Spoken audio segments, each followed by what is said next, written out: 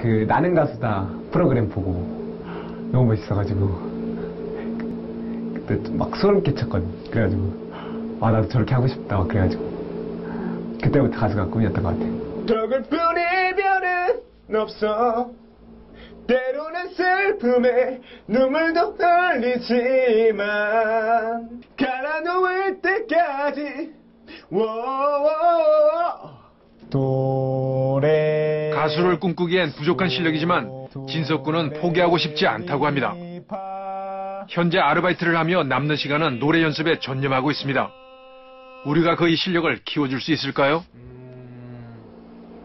일단 음치는 빨리 탈출하고 그 다음에 한 단계 더 늘고 싶어요. 지금보다.